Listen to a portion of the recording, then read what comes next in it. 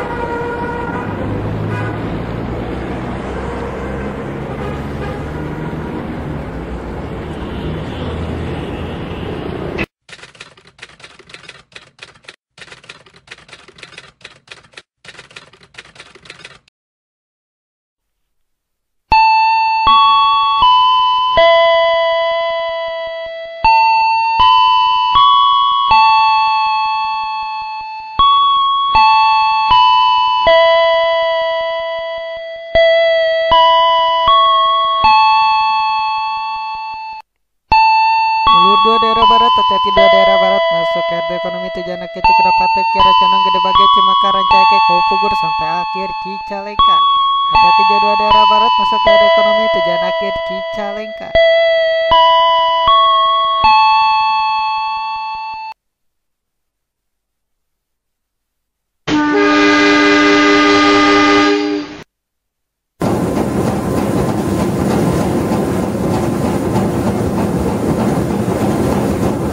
Dari jalur 2 ke RT ekonomi tujuan akhir Cicalengka persiapan untuk diberangkatkan selamat jalan selamat sampai tujuan.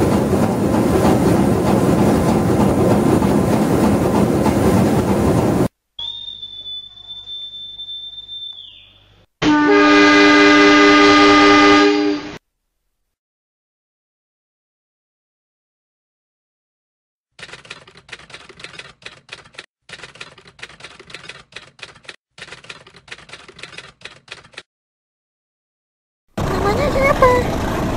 Saya Rahman. Rahman. Mau ke mana? Iya. Cukudapate.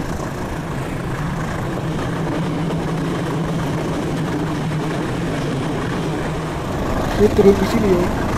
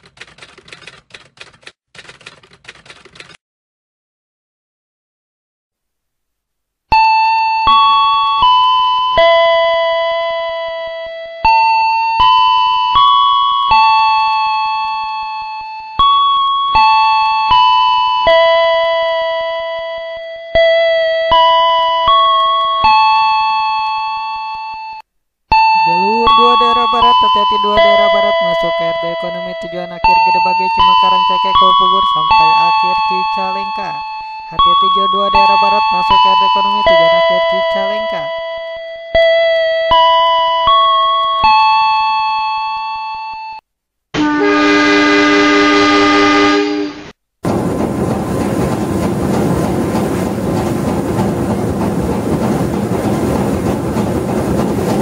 Jalur 2 ke RT ekonomi tujuan akhir Cicalengka, jalur naik penumpang, silakan untuk diberangkatkan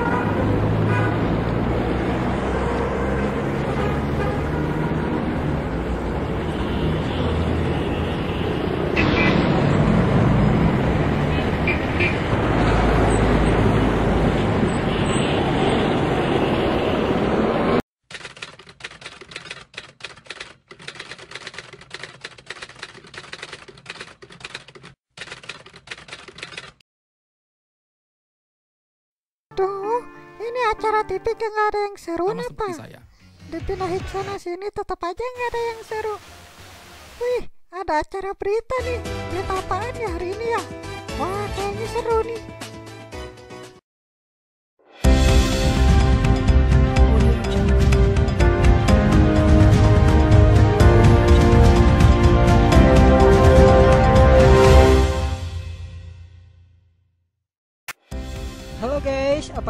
Kalian semuanya? Untuk kali ini saya akan memperkenalkan tentang pariwisata di Kota Bandung nih guys. Ingin tahu apa saja sih tempat wisata yang menarik di Kota Bandung? Ini dia liputannya. Wah, ternyata beritanya tentang promosi wisata dan budaya di Kota Bandung. Wah, bakalan seru nih beritanya. Lumayan bisa nambah-nambah pengetahuan tentang wisata dan budaya di Kota Bandung. Halo guys, seperti yang saya janjikan tadi, saya akan memperkenalkan tentang pariwisata di Kota Bandung. Bukan hanya pariwisatanya aja guys, tetapi saya juga akan memperkenalkan budayanya juga guys. Nah, saya juga tidak sendirian nih guys. Saya ditemani oleh Agus. Halo Gus, apa kabar? Alhamdulillah baik. Oke nih Kang Agus, sekarang kita akan membahas tentang pariwisata dan budaya di Kota Bandung. Gimana menurut Kang Agus tentang pariwisata dan budaya di Kota Bandung saat ini? Menurut saya sangat bagus ya, karena tempat wisata di kota Bandung ini sangat banyak dan bagus juga. Apalagi budayanya harus kita lestarikan kan. Seperti saya ini, saya memakai baju dari salah satu toko wayang golek, yaitu Dawala. Oke nih Kang Agus, mending kita sekarang bagi tugas nih. Saya akan memperkenalkan bagian pariwisata dan Kang Agus bagian budaya. Bagaimana? Oke, siap. Baik Kang Agus, sekarang kita akan mulai perkenalan pariwisata dan budaya di Kota Bandung. Dan ini tempat pariwisata yang patut kalian datangi, pokoknya tempatnya sangat bagus banget. Ini dia tempat wisata yang pertama. Jadi penasaran nih tempat wisata yang pertama. Katanya tempatnya bagus banget. Nama tempatnya dan lokasinya di mana ya? Penasaran banget. Oke, untuk tempat wisata yang pertama adalah Indo Wisata Permata. Bandung memang selalu menyajikan tempat wisata baru yang menarik dan asik untuk dikunjungi. Salah satu destinasi terbaru di kota ini yang lagi hits adalah Indo Wisata Permata yang berlokasi di kawasan Kompleks Citra Green Block N nomor 1 sampai 10 kawasan Dago Atas. GWP juga menawarkan edukasi bagi pecinta batu permata khususnya berlian GWP juga diklaim sebagai tempat wisata berlian pertama di Asia. Untuk jam buka galeri IWP yaitu setiap hari mulai pukul 10 pagi hingga pukul 5 sore. Untuk harga tiket masuk area ini cukup membayar voucher senilai 50.000 per orang. Voucher ini dapat digunakan untuk potongan harga bagi pengunjung yang ingin membeli berlian. Kalau tidak membeli berlian bisa ditukarkan dengan makanan dan. Tempat ini juga ada kafe yang menyajikan aneka menu makanan. Dan inilah fotonya.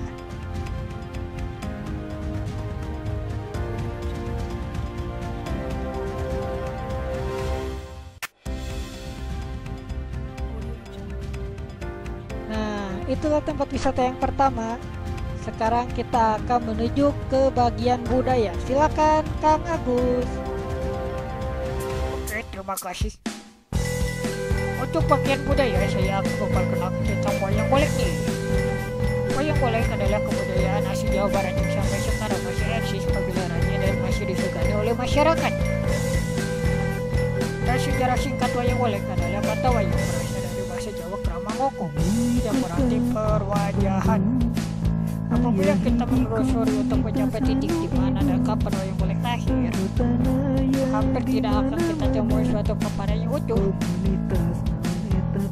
Dari beberapa sumber referensi yang saya dapatkan, wayang golek lahir dari perkembangan wayang kulit yang sudah dari dulu lahir. Wayang golek sekarang semakin populer, tidak hanya sebatas komisi permainan, tapi masyarakat biasa pun mulai mengemari wayang golek ini. Golek pun semakin menyebar ke seluruh Jawa Barat. Ada beberapa lingkup seni wayang golek yang ada di Bandung saat ini di antaranya. Yang pertama, Putra Giri Harja II yang dipimpin oleh Kidalang Deden Posisi Sunaria. Dan yang kedua, untuk Giri Harja 2 yang dipimpin oleh Kidalang Adi Kotea Kosesi Sunaria. Yang ketiga, Putra Giri Harja 3 yang dipimpin oleh Kidalang Dadan Sunadan Sunaria. Dan yang keempat, Giri Harja 3 Putra yang dipimpin oleh Kidalang Yoga Suara Sunadan Sunaria.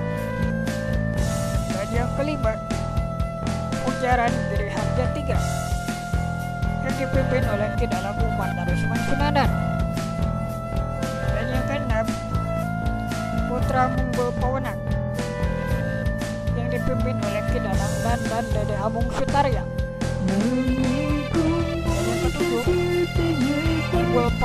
Putra yang dipimpin oleh Kidalang Wawan Dede Amung Sutarya.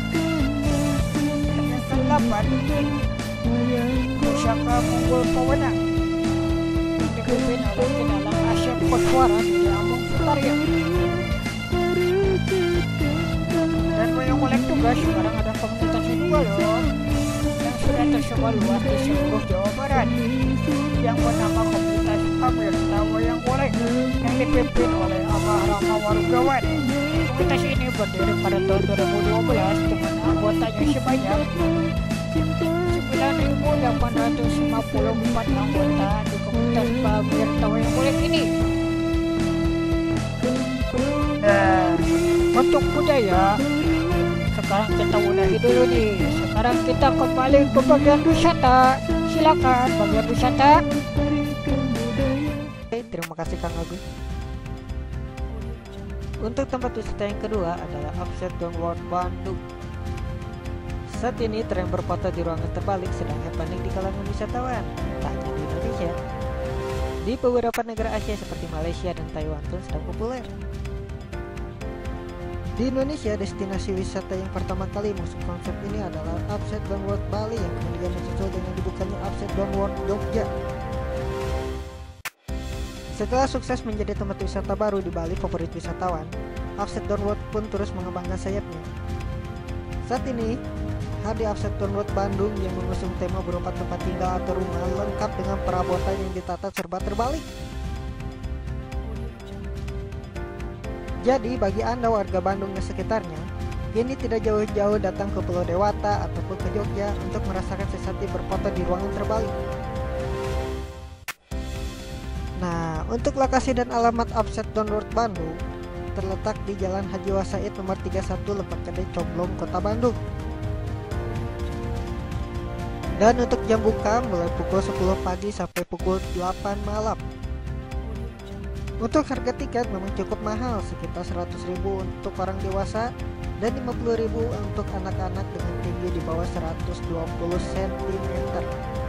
Untuk sobat yang akan berkunjung ke sini sebaiknya datang lebih awal agar bisa menjelajahi setiap ruangan dengan enak dan nyaman.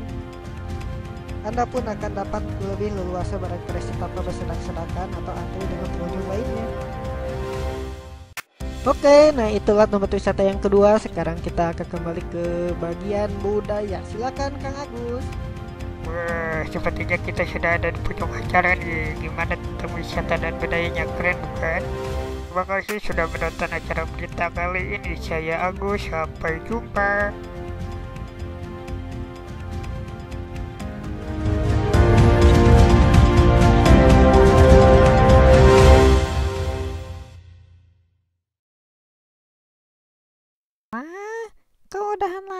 Lagi sih acara beritanya.